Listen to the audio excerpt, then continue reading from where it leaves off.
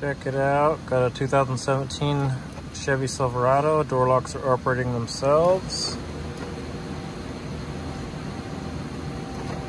Uh, I don't know if you can hear that. Here's what that data looks like. Looks like we got a driver's door lock switch that is toggling repeatedly with nothing touching the button. So taking a look at the diagram, it looks like the driver's door switch and the passenger door switch pulls this signal to ground from the BCM to indicate that the driver has pressed the switch. So I need to look at that circuit and see what's going on. This part's always fun.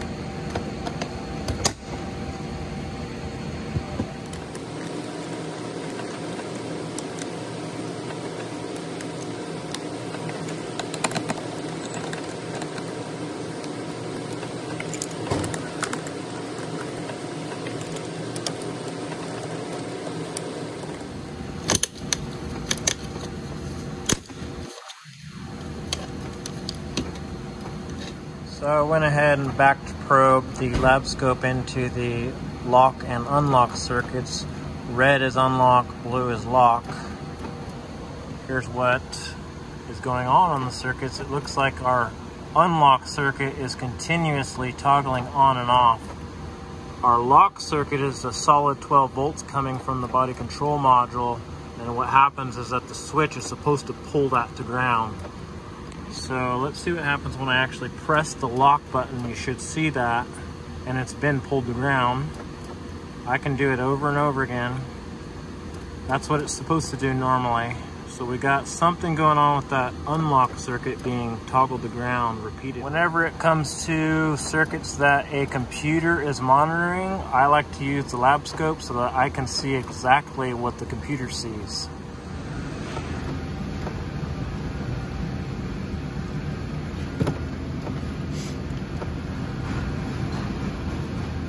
What I'm going to do here is disconnect this uh, switch and see if that goes away. We're going to find out is it on the switch itself or the circuit. And it looks like it's the circuitry, it's the wiring that is doing that. I have actually seen this before and it's that main harness connector usually gets water in it. So I wonder if that's what's going on. I've already actually checked it this morning but I had no symptoms earlier and I did not see any signs of water intrusion.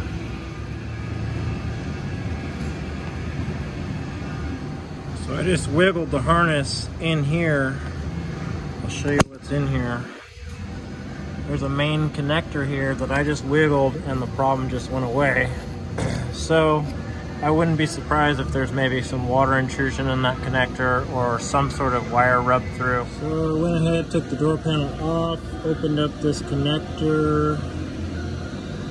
Very, very faint signs of a water stains, just that white chalky stuff. Ended up donating some blood. Here's the other end of that connector. Really hard to see this on camera, but yeah, there's just very faint water stains inside the connector. So I'm going to end up replacing both sides of this door, door harness.